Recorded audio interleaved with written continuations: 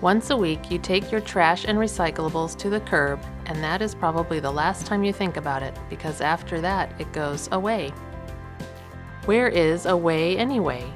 Away, if you live in Sunnyvale, Mountain View, or Palo Alto, starts at the Sunnyvale Materials Recovery and Transfer Station, otherwise known as the SMART Station.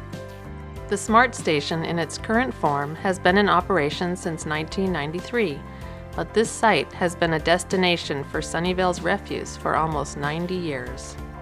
In the 1920s and 30s, piles of garbage were gathered and burned, but for more than 50 years the site was used as a landfill, and the hills surrounding the station contain much of the garbage collected during that time. Today, trash and recyclables arrive here only to be transferred away to other final destinations, but this land at the edge of the San Francisco Bay has long been dedicated to the increasingly sophisticated handling of garbage. Your garbage will make its first stop here at what is called the tipping floor. Your garbage will go through many steps of separation on its way to its final destinations. First, very bulky items will get pulled aside here for appropriate disposal, then it's up the dual conveyor belts to a preliminary sorting room. Sorters here pull more bulky items such as carpet, wood, and cardboard off the line and sort it for recycling or disposal before everything else heads into huge rotating trommels. Your garbage bags are about to take a tumble. Those vicious looking teeth will break open the garbage bags and let the garbage move about as the trommel rotates, and items of different sizes will fall out through sets of holes of two different sizes. Small items will fall out first, much of it rich in organic material. Larger items fall through the next set of holes, including many recyclables. Automatic sorting continues by size and type with help from magnets, a disc screen sorter, and an eddy current which pull out steel and aluminum. Plastics are sorted by hand. Much of the garbage that moves through the SMART station is from non-residential sources, where recycling options may not exist, and it is beneficial to have a way to capture recyclables that were thrown away. Even though recyclables rescued from the garbage in this way will not fetch as high a price as clean, pre-sorted material, it will still be saleable on the market and will keep material out of the landfill. What emerges from the end of the trommels will contain a lot of paper, which will be hand sorted and sent to be recycled. All the material from this elaborate materials recovery process that cannot be pulled out or recycled will eventually work its way here to the compactor, where 100 tons of garbage per hour can be compressed for transport to its final destination at the landfill. Deposited from above, the garbage is shoved and crushed into a rectangular shape 37 feet long, 7 feet wide, and weighing 24 tons. This 48,000 pounds of trash will then be pushed into a truck and driven 27 miles to the Kirby Canyon landfill in South San Jose. 30 loads a day for an average 650 tons per day make this journey. Very little decomposition can take place in the landfill environment, so the material in the landfill will remain there indefinitely. Garbage does not go away, and we pay a fee on every ton we deliver to the landfill, as well as paying drivers to drive the trucks and buying fuel to get them there. It is a sobering reminder that anything we can do to reduce the amount of waste we generate is a valuable effort. Here are some easy examples. Using reusable dishware for picnics and parties, reusable gift bags or cloth bags for gift giving, composting your food scraps instead of throwing them away, and bringing your own cup to your favorite coffee shop. Much of your garbage may have made its way into a truck to head to the landfill, but back at the SMART station, recyclables pulled out of the garbage as well as those you separated and put out at your curb will be sorted and sent to baling machines to be formed into easily loadable bales of material. These bales will be loaded into trucks and sold to manufacturers and paper mills to be made into new products with recycled content. Look for the symbol the next time you need to buy something.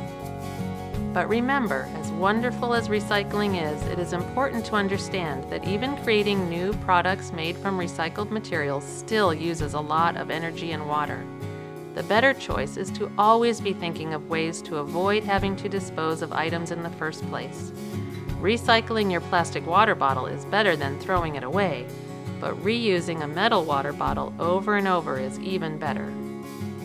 Along with your garbage and recycling, you may also have put out yard trimmings at your curb, and those will also be put to good use at the Smart Station. Yard trimmings are collected, put through a chipper, and then transported to a composting facility. The resulting compost will eventually make its way back to the Smart Station for use by residents. Some items should never be thrown in the garbage, even though they are commonly found in homes. Examples include batteries, fluorescent light bulbs, and computer equipment. Such items require special handling to avoid environmental contamination with cadmium, lead, copper, and mercury. Leaving such items in the trash can not only contaminate the environment, but can also be hazardous to the workers at the Smart Station. Please do all you can to keep those things out of the garbage. While you went about your day, the contents of your garbage bags, recycling bins, and yard waste containers have moved through the Smart Station and are on their way to other destinations. The workings of the Smart Station, largely invisible to the residents of the cities it serves, ensure safe, timely handling of solid waste. The improved sorting equipment installed in 2009 is just the latest action taken by the cities of Sunnyvale, Mountain View, and Palo Alto to reduce the amount of material sent to the landfill. City employees, supported by the requirements of AB 939 and the wishes of the community, continually work at educating and enabling residents and businesses to make choices to reduce, reuse, and recycle all they can as conveniently as possible. In 2015, new equipment was added to the operations of the Smart Station. A new screen now separates containers from other lightweight materials in the garbage, increasing diversion from landfill. The big news, though, is the new optical sorter. It was installed on the recycling line, which handles paper and containers from the various recycling routes. While hand sorting is still critical, the optical sorter can instantly identify different materials using a high resolution color camera and then separate them with targeted bursts of compressed air. This new technology allows the Smart Station to sort out milk and other food and beverage cartons and separate the different types of plastic containers. In 2015, we also worked with the company that processes and then composts the small organics material for us.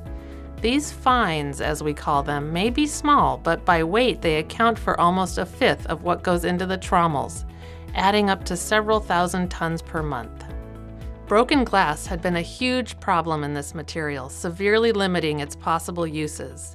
However, new technology is able to remove the glass, increasing both the value and the overall rate of diversion from landfill. Together, the human sorters working in concert with the improved equipment continue to improve the diversion rate at the Smart Station and keep more material from ending up in the landfill.